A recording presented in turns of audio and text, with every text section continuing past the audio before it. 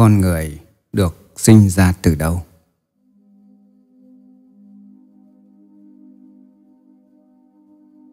Những kinh luận tham khảo. Kinh pháp hoa, dịch giả hòa thượng thích trí tịnh. Bát nhã tâm kinh, qua cái nhìn của duy thức, tác giả thích thắng hoan. Khái luận về pháp tướng duy thức học, tác giả đại sư thái hư, dịch giả thích thắng hoan. Khảo nghiệm duy thức học quyển 1 và quyển 2 Tác giả Thích Thắng hoàn Quyển nghiệp báo, do Đại Đức Naraja Mahathera Lịch sử Phật giáo Ấn Độ, Tác giả Hòa Thượng Thích Thanh Kiểm. Duy thức học, Tác giả Hòa Thượng Thích Thiện Hoa. Quan niệm triết học của Duy thức, Tác giả Pháp Sư Pháp Phảng, Dịch giả Thích Thắng hoàn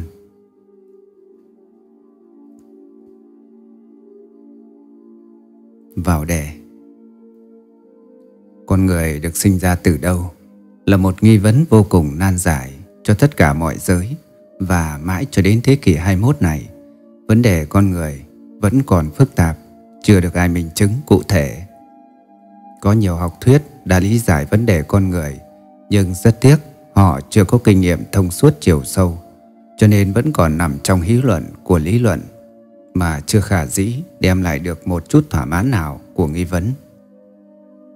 Còn đối với tôn giáo, phần đông quan niệm quá cổ điển thiền cận mê tín, mà ở đây chúng ta không cần phải bàn đến. Theo quan niệm của Phật giáo, đứng trên lập trường hiện tượng luận, con người cho đến vạn hữu vũ trụ, tất cả đều do nhân duyên sanh. Đó là chân lý bất biến. Ngoài ra không có chân lý nào khác hơn. Nhân duyên sanh là một học thuyết tất yếu, tuyệt đối, có tính cách trọng đại trong sự cấu trúc con người và vạn hữu vũ trụ mà học thuyết này đã được thấy tản mát trong các kinh luận Phật giáo. Duy thức học dựa theo học thuyết nhân duyên sanh trên, khai triển sâu rộng quá trình chuyển biến, mà trong đó bảy yếu tố căn bản, gọi là bảy đại nòng cốt, quan hệ chặt chẽ lẫn nhau trong việc kiến tạo con người và vạn pháp Bảy đại theo khảo nghiệm duy thức học quyển 1 cùng một tác giả trang 19 giải thích là bảy yếu tố trọng đại không thể thiếu mặt trong sự sanh khởi con người và vạn pháp. Bảy yếu tố trọng đại đó gồm có đất, nước, gió, lửa, nghiệp lực, nghiệp tướng và thức A lại ra. Nhưng phạm vi bài này chỉ bàn con người được sinh ra từ đâu, hay nói rõ hơn là hình tướng con người do đâu sinh ra. Đây là đề tài quan yếu cần phải làm sáng tỏ để có nhận thức chân chánh. Duy thức học khẳng định con người có mặt trong thế gian chính là do nghiệp tướng, một trong bảy đại, làm bố thức để thành hình tướng. Địa vị của nghiệp tướng như thế nào trong việc cấu trúc con người mà bát nhã tâm kinh quan niệm không tốt qua câu. Các pháp nếu như không có tướng thì không sanh, không diệt, không nhờ, không sạch, không tăng, không giảm. Tức thị trừ pháp không tướng bất sanh bất diệt, bất cấu bất tịnh, bất tăng bất giảm. Muốn rõ địa vị của nghiệp tướng trong cộng đồng duyên sanh con người, chúng ta trước hết khảo sát về bản chất của nghiệp tướng để có khái niệm.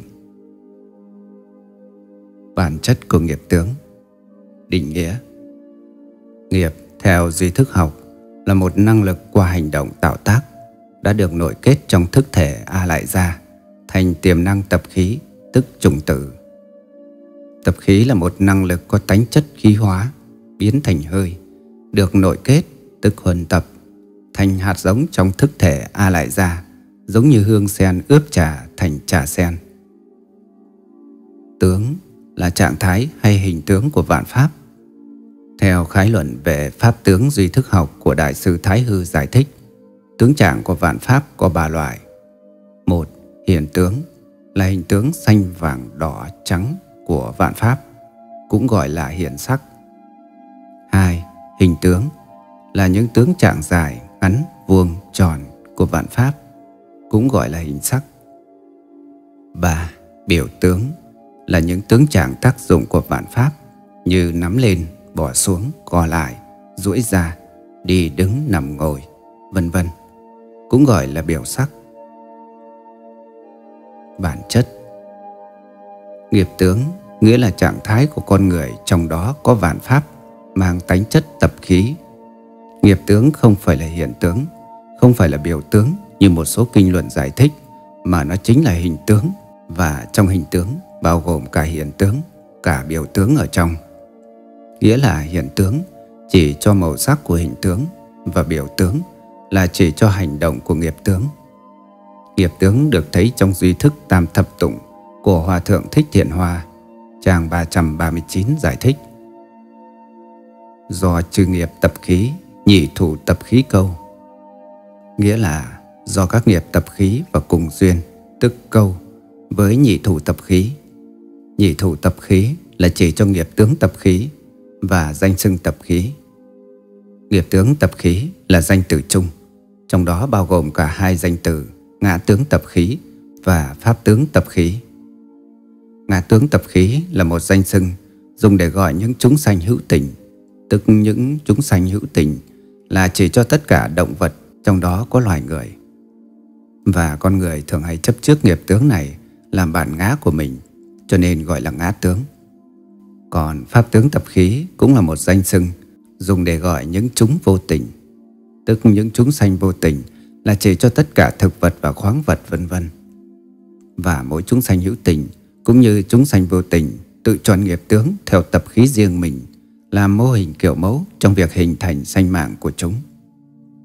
Ngã tướng tập khí và pháp tướng tập khí trong các kinh luận thường gọi chung một danh xưng là ngã pháp.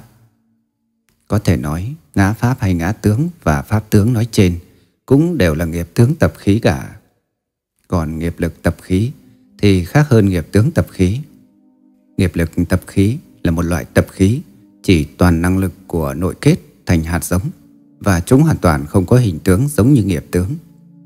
Nghiệp lực tập khí như nghiệp tham, nghiệp sân, nghiệp si mê, nghiệp ái dục, nghiệp ghiền rượu, nghiệp ghiền cờ bạc, vân vân. Chúng hoàn toàn là những năng lực có khả năng thúc đẩy và lôi cuốn thân tâm con người hành động, miệng lưỡi con người nói năng và ý tứ con người suy nghĩ theo sự chỉ đạo của chúng. Tóm lại, Nghiệp tướng tập khí theo quyển những yếu điểm của tưởng duy thức. Mục nghiệp tướng, form, giải thích là chỉ cho những mô hình kiến trúc hoặc những họa đồ kiểu mẫu nhằm để xây dựng con người và vạn pháp thành những hình tướng duyên sanh hiện hữu trong vũ trụ. Nghiệp tướng tập khí không những là mô hình kiến trúc biểu hiện ra ngoài thân thể qua hiện tướng, hình tướng, biểu tướng và còn là mô hình kiến trúc biểu hiện nội tại bên trong thân thể qua hệ thống sinh lý như hệ thống tuần hoàn, nào là thần kinh, phèo, phổi, gan, ruột, tim, thận, vân vân cho một sanh mạng sinh hoạt tồn tại trong thế gian.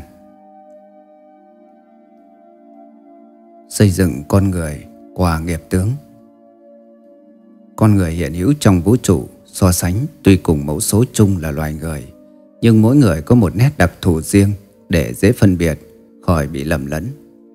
Cho đến trong một gia đình, những đứa con tuy cùng một huyết thống từ nơi cha mẹ sanh ra, nhưng mỗi đứa con không giống nhau về hình tướng. Điều đó chứng tỏ những nghiệp tướng để cấu tạo ra chúng hoàn toàn khác biệt nhau. Mặc dù mỗi đứa con có những nét giống cha mẹ hay giống nhau. Sự giống nhau vài nét đối với cha mẹ hay đối với anh chị em nơi duy thức học gọi là thọ giả tướng. Thọ giả tướng nghĩa là những nghiệp tướng quan hệ qua sự cảm thọ nơi cha mẹ anh chị em trong cộng đồng duyên sanh. Vì khác nhau về nghiệp tướng, thành thử con người thành hình đa dạng vô cùng phức tạp và những dòng tư tưởng, tình cảm, hiểu biết, vân vân. Trong mỗi con người đa dạng thì làm sao hòa hợp nhau được trọn vẹn trăm phần. Để nhận thức cụ thể về vấn đề nghiệp tướng, giờ đây chúng ta hãy khảo sát con người qua sự cấu trúc của một sanh mạng. Sanh mạng con người quan hệ với nghiệp tướng. Như trên đã trình bày, nghiệp tướng là một yếu tố vô cùng quan trọng trong bảy yếu tố đối với việc xây dựng sanh mạng một con người. Nó là điều kiện cần thiết để minh định riêng biệt giữa con người với con người, giữa con người với các chúng sanh khác trong cộng đồng duyên sanh. Nhưng ở đây, chỉ trình bày sự quan hệ thế nào của nghiệp tướng đối với việc xây dựng sanh mạng con người. Sanh mạng của một con người nếu như không có nghiệp tướng thì nhất định không thể góp mặt trong thế gian và cũng không thể giới hạn chiều cao và chiều ngang hình tướng của một con người. Mặc dù con người đã có sẵn tinh cha huyết mẹ, nghiệp lực và thức A lại ra. Nghiệp tướng thuộc loại con người thì sanh mạng thành hình tướng con người. Nghiệp tướng thuộc loại xúc sanh thì sanh mạng thành hình tướng xúc sanh. Nghiệp tướng thuộc loại cây dừa thì sanh mạng thành hình tướng cây dừa. Nghiệp tướng thuộc loại sầu riêng thì sanh mạng thành hình tướng cây sầu riêng. Nghiệp tướng thuộc loại vạn pháp nào thì sanh mạng thành hình tướng thuộc loại pháp đó. Đề cập đến nguyên nhân sanh ra con người, phần đông các nhà khảo sát chỉ hiểu biết phần hiện tượng vật chất bên ngoài mà không thể hiểu biết về phần tánh tâm linh bên trong. Rồi đi đến kết luận vội vã, thiếu biện chứng nhân mình. Phần hiện tượng vật chất bên ngoài, theo duy thức học quan niệm, cho rằng họ cũng chỉ hiểu biết trên lĩnh vực khái niệm mà không thể hiểu biết chiều sâu những yếu tố cấu trúc giả chúng. Những thiếu sót nói trên được thấy qua những học thuyết sau đây. Học thuyết tinh trùng Tinh trùng là một loại vi sinh vật đã có sẵn trong tinh dịch của người cha của phái nam. Thuyết này cho rằng tinh trùng chính là yếu tố quan trọng trong việc cấu tạo nên sanh mạng con người. Không có tinh trùng là bào thai không đậu, là sanh mạng con người không thành hình. Thuyết này xét ra không được chính xác cho lắm.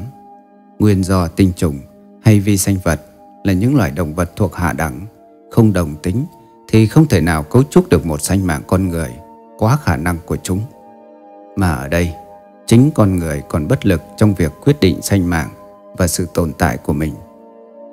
Tình cha huyết mẹ, theo duy thức học, là hai nhân tố chỉ làm trợ duyên cho việc sanh thành sanh mạng của một con người.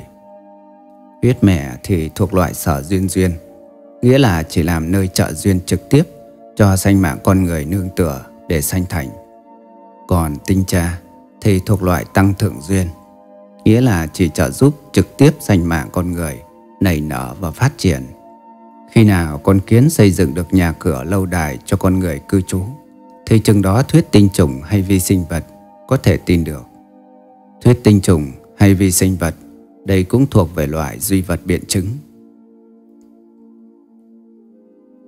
Học thuyết DNA Đặc biệt, còn một quan niệm duy vật biện chứng khác có tính cách khoa học hơn như thuyết DNA hay gen là yếu tố quan trọng trong việc cấu trúc sành mạng con người.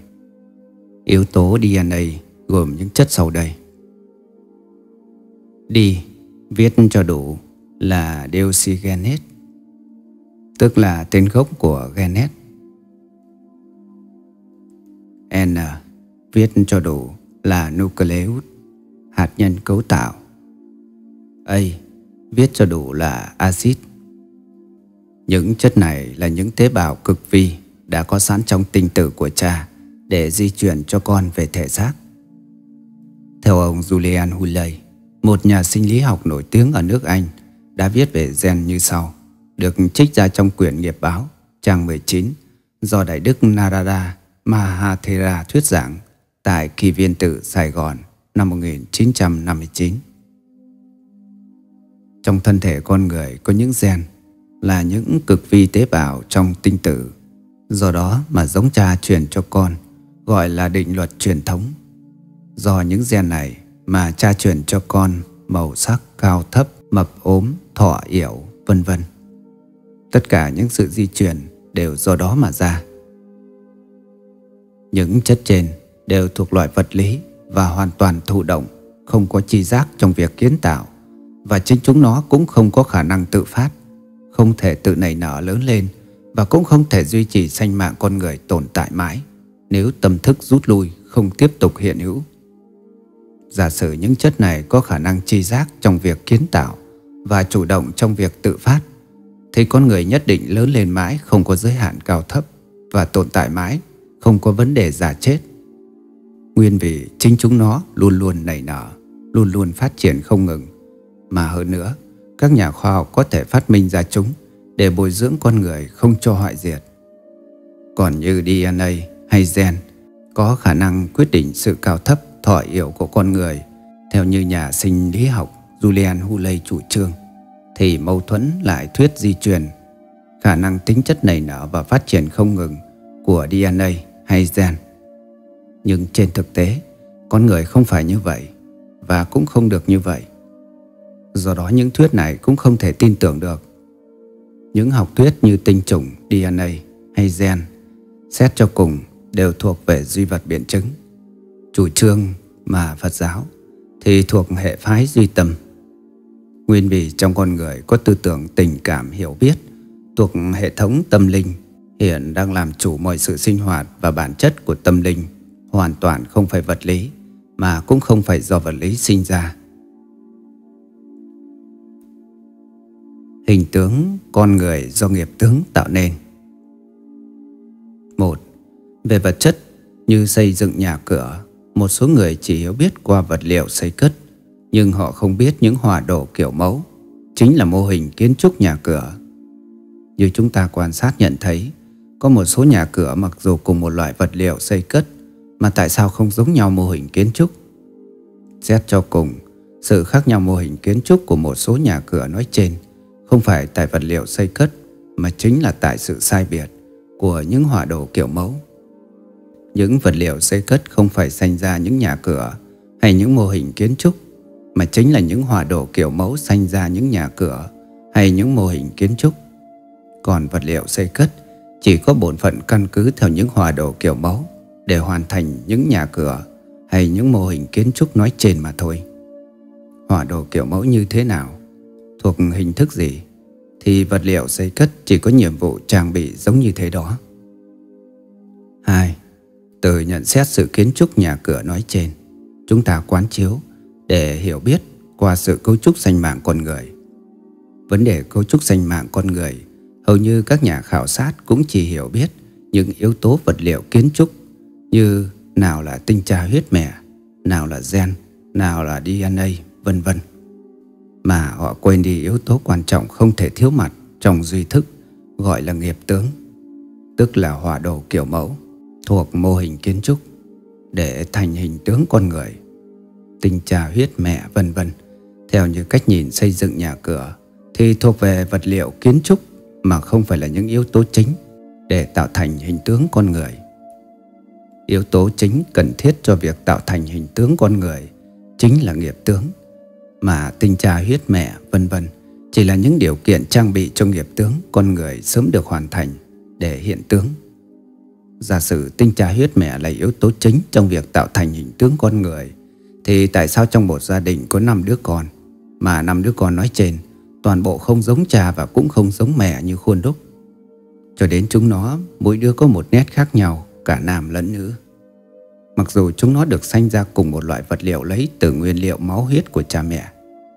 Điều đó cho thấy, trong năm đứa con nói trên, mỗi đứa tự nó có nghiệp tướng riêng khác. Nghiệp tướng được chọn từ kiếp trước của chính nó tạo nên. Mang từ trong nội tâm đến nhờ tinh cha huyết mẹ trợ duyên, trang bị để hoàn thành tình tướng cho kiếp này. Đứng trên lập trường nhân quả quán chiếu nhận thấy một con người hay bất cứ một pháp nào trong vũ trụ đều là cái quả thuộc về hiện tại, mà cái nhân của nó thuộc về quá khứ, chính là nghiệp tướng, nghiệp lực và thức a dị thục tên khác thức a lại ra cũng giống như thế, đức phật thích ca con vua tịnh phạn và hoàng hậu ma gia nước ca tỷ la vệ tại ấn độ, là cái quả thuộc về hiện tại, mà cái nhân của ngài thuộc kiếp trước chính là nghiệp tướng, nghiệp lực và thức dị thục. Điều đặc biệt chưa từng thấy, nghiệp tướng kiếp trước của Ngài chính là pháp thân của Bồ Tát Thiện Huệ, nơi cung trời đâu xuất. Nghiệp lực kiếp trước của Ngài chính là năng lực xuất thế và thức dị thục kiếp trước của Ngài chính là trí tuệ đại viên cảnh. Theo sử liệu ghi nhận, Ngài có hai em nữa là Nanda và Sundaria Nanda. Mặc dù ba anh em cùng một huyết thống di truyền trong kiếp này, tất cả đều chọn vua tình phản làm nơi trợ duyên để sanh thành. Chỉ khác nhau đôi chút, riêng ngài chọn hoàng hậu Ma Gia làm mẫu thân nương tựa. Còn hai em của ngài thì chọn bà dì Maha Ba Xà Ba Đề là em ruột của mẹ làm mẫu thân nương tựa Thế nhưng trong số ba anh em đó Không ai thông minh xuất sắc phi phạm Và tướng hảo đẹp đẽ như ngài Ba Nói rõ ràng hơn và dễ hiểu hơn. Một cái nhà, Khi muốn được hoàn thành đúng tiêu chuẩn để ở, Thì đòi hỏi Phải có những điều kiện căn bản sau đây Mà người chủ nhà nên chuẩn bị trước. Tài chánh, Kiến trúc sư Hòa đồ kiểu mẫu, Vật liệu xây cất. Với mục đích, tài chánh phải được chuẩn bị sẵn sàng để đáp ứng mọi nhu cầu khi cần thiết. Nhân lực chuyên môn hoàn thành hỏa đồ kiểu mẫu thì phải có kiến trúc sư kinh nghiệm. Hỏa đồ kiểu mẫu phải được tránh quyền chấp nhận thì mới thực hiện được. Vật liệu xây cất luôn luôn có sẵn ở các cửa hàng xây cất. Riêng con người cũng thế, muốn được có mặt trong thế gian thì cũng phải hội đủ những điều kiện sau đây mà trong Phật giáo gọi những điều kiện ấy là nhân duyên. Nhân là chỉ cho những điều kiện chính và duyên là chỉ cho những điều kiện phụ thuộc làm trợ duyên. Gọi chung cả hai điều kiện vừa trình bày với danh xưng là nhân duyên. Những điều kiện để tạo thành con người gồm có nghiệp lực, tức tài chánh, thức A lại gia, kỹ sư kiến trúc, nghiệp tướng, hòa đồ kiểu mẫu, tinh cha huyết mẹ, vật liệu xây cất. Tình cha huyết mẹ là những nhân tố phụ thuộc chỉ làm trợ duyên cho con người được hình thành về phần vật chất. Tình cha huyết mẹ trong 12 nhân duyên gọi tổng quát là sắc của danh sắc. Trong ngũ ẩn gọi là sắc ẩn, trong duy thức gọi là tứ đại, đất, nước, gió, lửa, hoặc gọi là sở duyên duyên. Tức những nhân tố làm chỗ trợ duyên cho con người quan hệ đến nương tựa để hiện thành hình tướng. Theo thế giới quan của Phật giáo, có những chúng sanh trong các cõi vô sắc không cần đến tinh cha huyết mẹ, nghĩa là không cần đến sắc của danh sắc trong 12 nhân duyên, không cần đến sắc uẩn trong ngũ uẩn, mà chỉ cần đến ba yếu tố là nghiệp tướng, nghiệp lực và thức A lại ra, cũng đủ để hiện thành hình tướng. Thí dụ, con người trong mộng không cần đến tinh cha huyết mẹ làm trợ duyên, vẫn có mặt sanh hoạt trong mơ. Nhưng họ cần phải đến ba yếu tố là nghiệp tướng, nghiệp lực và thức A lại ra để hình thành hình tướng trong mộng. Trong thế giới vô sắc cũng thế, nghĩa là chúng sanh hữu tình trong các cõi đó chỉ cần ba yếu tố là nghiệp tướng, nghiệp lực và thức A lại ra cũng đủ để thành sanh mạng. Nhưng thời gian tồn tại và sinh hoạt lâu hay mau là tùy theo nghiệp lực của họ quyết định. Có người cho rằng người trong mộng chỉ là giấc mơ không thật có. Cảnh giới đó nếu như không thật có, thì tại sao mình nằm mơ khi gặp ác mộng, lại la hét trong lúc ngủ mê? Cảnh giới đó, nếu như không thật có, thì mình làm sao chung vào được để nằm mơ? Cảnh giới trong mơ nói trên, theo Phật giáo, chính là một trong những cảnh giới của tâm thức mà trong liễu sanh thoát tử gọi là cảnh trung giới, và con người trong cảnh giới đó gọi là thân trung ấm. Nghiệp tướng chẳng những là yếu tố chính để hình thành tướng con người và cho đến vạn pháp trong thế gian cũng cần phải đến nó để định hình. Những yếu tố khác như yếu tố đất, nước, gió, lửa vân vân đều hiện hữu trong phạm trù của nghiệp tướng để khỏi bị biến tướng. Nghiệp tướng con người như thế nào thì tạo thành hình tướng như thế đó. Nghiệp tướng tốt thì tạo thành hình tướng tốt Nghiệp tướng xấu thì tạo thành hình tướng xấu Nghiệp tướng hai đầu bốn tay thì tạo thành hình tướng hai đầu bốn tay vân vân. Để minh chứng vấn đề nghiệp tướng Bát Nhã Tâm Kinh đã xác nhận bằng cách phủ định. Thị trừ pháp không tướng Bất sanh bất diệt Bất cấu bất tịnh Bất tăng bất giảm.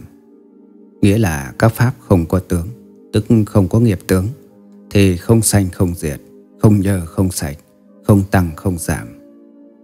Theo bát nhã tâm kinh, sự thỏa yếu tức sanh diệt và sự cao thấp tức tăng giảm của con người là do nghiệp tướng giới hạn mà không phải là do gen quy định như nhà sinh lý học Julian Hulley chủ trương.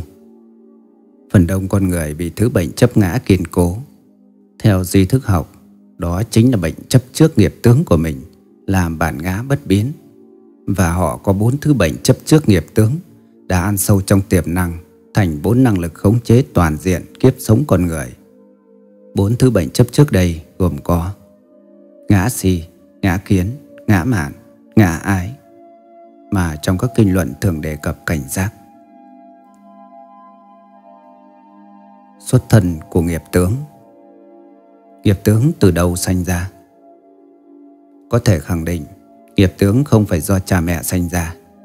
Nguyên vì những đứa con của họ hoàn toàn không giống cha, không giống mẹ, và mỗi đứa con tự nó có nghiệp tướng riêng biệt. So sánh thì không giống hệt nhau về hình tướng. Nghiệp tướng cũng không phải do tinh cha huyết mẹ sanh ra. Nguyên vì tinh cha huyết mẹ với cái nhìn của duy thức, gồm bốn yếu tố vật lý đã vừa đối nghịch nhau mà cũng vừa hòa hợp nhau để cùng nhau hình thành. Bốn yếu tố vật lý này giả sử tách rời riêng rẽ nhau thì mỗi yếu tố tự nó không thể trưởng thành và cũng không hòa hợp nhau thì tinh cha huyết mẹ nhất định không thể thành lập. Bốn yếu tố tinh cha huyết mẹ gồm có đất, tức xương thịt, nước, tức máu huyết, gió, tức chuyển động, lửa, tức nhiệt lượng. Và mỗi yếu tố đều có nghiệp tướng, tức pháp tướng riêng khác để duy trì trạng thái bất biến của mình trong tư thế hòa hợp. Như vậy, trong bốn loại vật lý này, nơi tinh cha huyết mẹ, loại nghiệp tướng nào là yếu tố chính tạo thành hình tướng của con người? Không lẽ hình tướng con người lại do cả hình tướng của bốn loại yếu tố vật lý khác biệt nhau vừa trình bày tạo nên? Những câu hỏi trên tức là đã gián tiếp trả lời rằng tất cả đều không phải như thế. Nguồn gốc sanh ra nghiệp tướng Nghiệp tướng theo duy thức tam thập tụng luận của Ngài Thế Thân chính là do ba thức năng biến, tức tam năng biến tạo nên. Năng biến thứ nhất là thức dị thục, tên khác của thức A Lại Gia thứ 8. Năng biến thứ hai là thức tư lương, tên khác của thức Mạt Na thứ bảy. Và năng biến thứ ba là thức liễu biệt cảnh, tên khác của sáu thức trước. Chính bài mở đầu của duy thức tam thập tụng luận đã xác nhận do giả thuyết ngã pháp, hữu trùng trùng tướng chuyển bị ý thức sở biến thử năng biến duy tam, vị dị thục tư lương, cập liễu biệt cảnh thức. Nghĩa là do, giả sử nói đến ngã đến pháp nào, thì có các thứ tướng của ngã đó, của pháp đó, chuyển biến hiện ra. Năng biến này có ba loại, là thức dị thục, thức tư lương và thức liễu biệt cảnh. Chữ năng biến nghĩa là có khả năng chuyển đổi và biến hiện từ hình tướng này qua hình tướng khác, chuyển đổi và biến hiện theo nghiệp lực, hướng dẫn để xây dựng vạn pháp thành hình tướng. Còn có nghĩa bóng là khả năng sáng tạo ra nghiệp tướng theo nhu cầu của nghiệp lực quyết định để làm mô thức cho việc xây dựng vạn pháp thành hình tướng. Liễu biệt là hiểu biết riêng biệt khác nhau, nghĩa là trong sáu thức trước, từ nhãn thức cho đến ý thức thứ sáu mỗi thức hiểu biết mỗi cảnh riêng biệt khác nhau. Ba loại thức năng biến nói trên sanh ra nghiệp tướng như thế nào? Năng biến thứ ba Trước hết chúng ta đem năng biến thứ ba ra thảo luận để có khái niệm cụ thể về nghiệp tướng. Năng biến thứ ba chính là thức liễu biệt cảnh, tức là chỉ cho sáu thức trước, nhãn thức, nhĩ thức, tỷ thức, thiệt thức, thân thức và ý thức. Và sáu thức này, mỗi thức chỉ có khả năng hiểu biết hiện cảnh riêng biệt, không quan hệ nhau và cũng không thể thay thế cho nhau để có hiểu biết, nên gọi là liễu biệt. Theo duy thức học, vạn pháp trong vũ trụ có hai loại. Một loại thuộc về thế giới vọng, hiện phát sanh từ thế giới chân như, và một loại thuộc về thế giới nghiệp duyên, phát sanh từ thế giới vọng hiện. Thế giới chân như được gọi là thế giới pháp tánh mà cũng gọi là thế giới chân như pháp tánh. Và thế giới này cũng có tên khác nữa là thế giới viên thành thật tánh.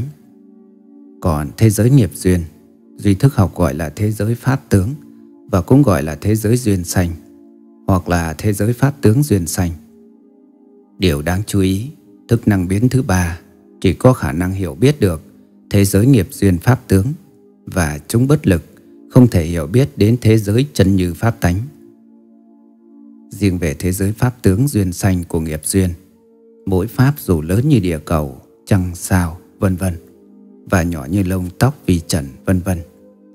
Tuy rằng chúng do nhân duyên sanh qua bảy đại, nhưng tất cả đều là biểu tượng sáu khía cạnh cho sáu thức nhận thức và thâu ảnh. Sáu khía cạnh biểu tượng của mỗi pháp trong vạn pháp gồm có sắc trần, thinh trần, hương trần, vị trần, xúc trần và pháp trần. Cho đến con người cũng thế, nghĩa là cũng biểu tượng đối tượng sáu khía cạnh nói trên đối với sáu thức trước. Trong sáu trần đối tượng đây, pháp trần chính là tánh chất, giá trị và ý nghĩa của năm trần kia đã được ý thức thứ sáu nhận thức tổng hợp để tạo thành nghiệp tướng cho mỗi con người, cho mỗi pháp trong vạn pháp.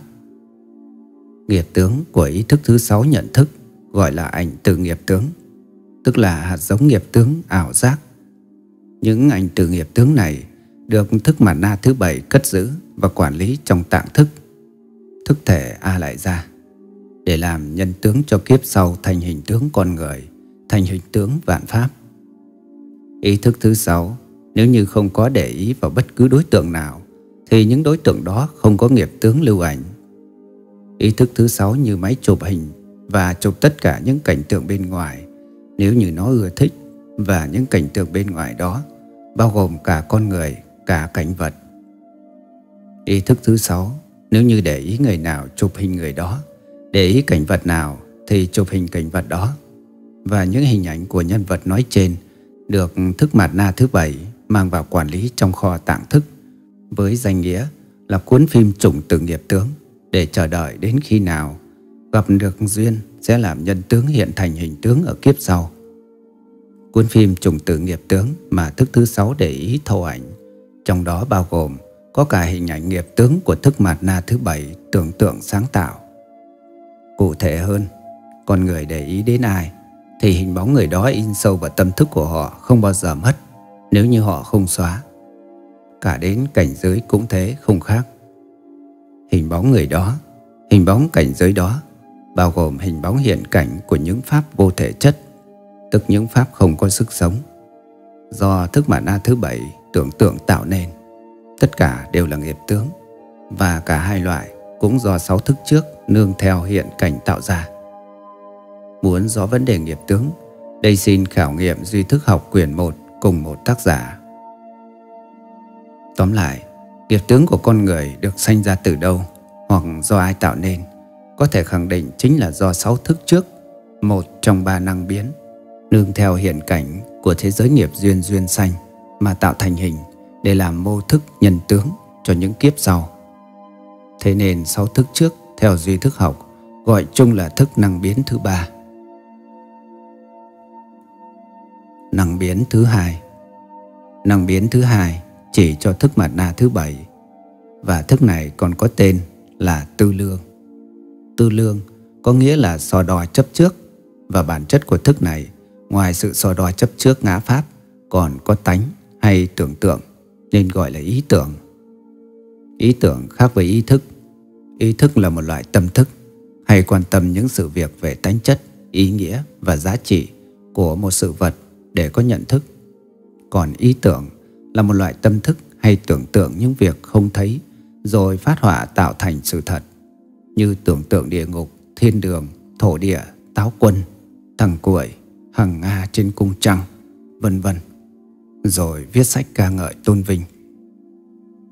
Các pháp vô thể chất trong thế gian thuộc thế giới pháp tướng như lâu đài, thành phố, phi thuyền, người máy, bông giả, vân vân. Những tác phẩm như tiểu thuyết, truyện ngắn, thi ca, văn nghệ, vân vân. Những nghệ thuật như hình tượng, tranh ảnh, trang trí, vân vân. Tất cả những hiện tượng đó đều được xây dựng qua ý tưởng phát hỏa của thức mạt na thứ bảy để làm đối tượng nhận thức cho sáu thức trước. Sáu thức trước nương theo những đối tượng đó thô hình thành nghiệp tướng để làm nhân tướng cho chúng sanh kiếp sau. Tóm lại, những nghiệp tướng dù là mô thức cho việc xây dựng tất cả các pháp thuộc vô thể chất thành hiện tượng pháp tướng trong thế gian đều do thức mạt na năng biến thứ hai tưởng tượng sáng tạo. Đây là năng biến thứ hai tạo ra nghiệp tướng để làm đối tượng nhận thức cho sáu thức trước, nương nơi đó xây dựng thành hình tướng trong thế gian. Năng biến thứ nhất là chỉ cho thức A lại gia thứ 8 và thức này có tên khác là thức dị thục. Dị thục nghĩa là chưa chín mùi, chưa tác dụng để thành kết quả. Thức dị thục là đứng trên lập trường nhân quả mà đặt tên. Nghĩa là thức này còn ở trạng thái hạt nhân chưa tác dụng xây dựng các pháp kết thành hoa trái. Thức này còn có tên khác nữa là thức căn bản. Nghĩa là thức này làm nền tảng căn bản, làm miếng đất, tức tâm địa, phát sanh ra vạn pháp trong thế gian. Con người không có thức này hiện hữu sẽ bị hoại diệt. Vạn pháp không có thức này góp mặt sẽ bị tiêu vong. Địa cầu, trăng sao, vân vân. Nếu không có thức này nhúng tay vào cũng sẽ bị tàn biến. Muốn rõ thức này xây dựng vạn pháp như thế nào, xin xem khảo nghiệm duy thức học quyển 2 cùng một tác giả sẽ rõ hơn.